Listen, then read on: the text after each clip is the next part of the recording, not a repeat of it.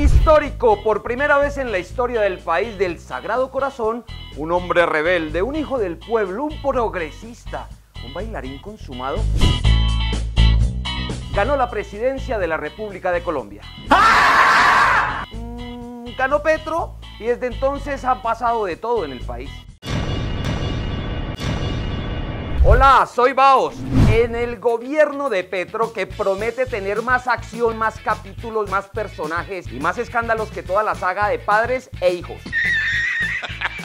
Porque a Petro solo le falta nombrar a Daniela Franco, ¿se acuerdan de ella? ¿Y entonces? Como alta consejera para que los congresistas se bajen el sueldo, con el proyecto del senador JP Hernández. Yo no le puedo hacer esto a JP. O nombrar a Betty la Fea como ministra de Hacienda, lo haría muy bien, ya que la reforma tributaria de Petro es como medio parecida al informe real de Comoda. Mi estimado presidente, aquí están las instrucciones para que continúe su rutina de horror con Betty. Colombianos y colombianas, claro que el gobierno de Petro es histórico. Jamás en 200 años de vida republicana en este país habíamos tenido un presidente que tuviera tanto afán. ¿Por qué tanto afán? No sé. Para radicar una reforma tributaria. Pero de eso hablamos más adelante. Siguiendo con los afanes, ¿será que voy muy rápido? El presidente dejó plantada la cúpula militar en la ceremonia de reconocimiento de tropas y dijo que había sido por problemas estomacales. Normal, a todos nos puede pasar, pero adivinemos qué comió Petro que le pudo caer tan mal en la barriguita. A. Se comió todo el presupuesto que había en la olla, solo para decir después que el pasado gobierno le había dejado la olla raspada. B. Se comió toda la bonanza petrolera de Ecopetrol, solo para después cerrar la operación de esta empresa en Colombia y ponernos a importar gasolina de Venezuela. C. Se comió un elefante, un turbante, un mico en el Congreso y un maduro.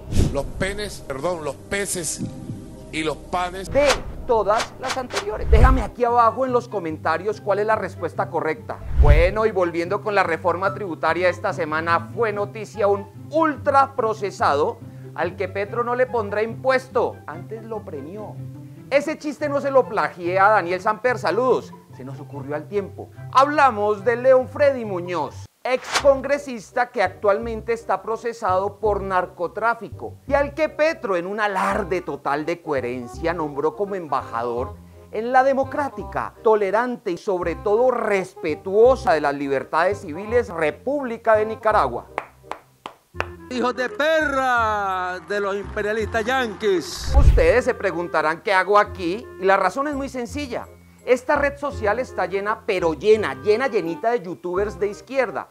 Los mismos que se quedarán calladitos, muy calladitos, en silencio durante los próximos cuatro años, que no van a criticar nada, pero nada del nuevo gobierno. Y pues para eso estamos aquí, para decir la verdad de las cosas. Este ejemplo me fascina. Muchos congresistas del pacto expresaron su preocupación. Están muy preocupados. Nadie se ha preocupado tanto por mí. Ante el anuncio de Petro de ponerles impuestos al chicharrón y a los productos azucarados.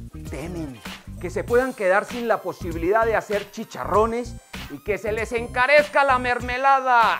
La fritanga, nuestra amada fritanga, también estará grabada con un impuesto al consumo, lo que ha levantado las voces de alerta entre los congresistas fanáticos del chunchullo y del chanchullo. Ahora sí viene lo chido. Pero un chanchullo que sí que sí seguirá es el de los congresistas que se hicieron elegir con la promesa de bajarse el sueldo y ahora ya en el poder han sacado todas las excusas habidas y por haber para justificar que no se van a bajar el sueldo.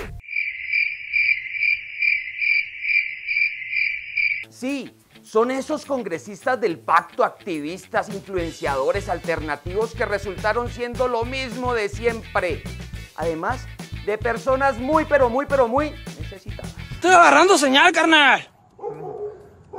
Estoy agarrando señal, carnal. ¿Cómo ando, viejo? Chingado.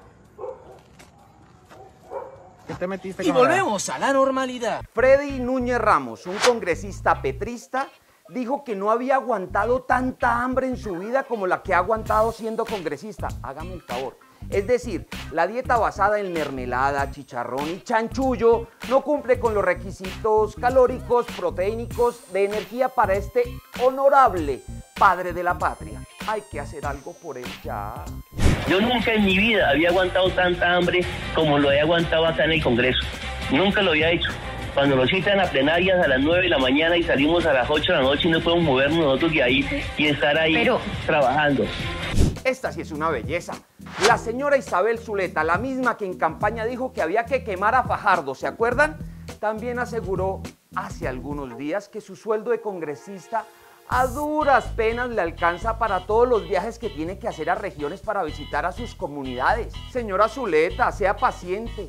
Ya casi Petro, su presidente, cumple con esa promesa de campaña de conectar al país con un tren aéreo eléctrico. Así nos vamos a ahorrar esa platica en sus desplazamientos, ya que con 35 millones mensuales no le alcanza, qué pecado. Soy Baos y este ha sido el inicio de este canal. Vamos a seguir analizando el gobierno de Petro. Péguele a esa campana.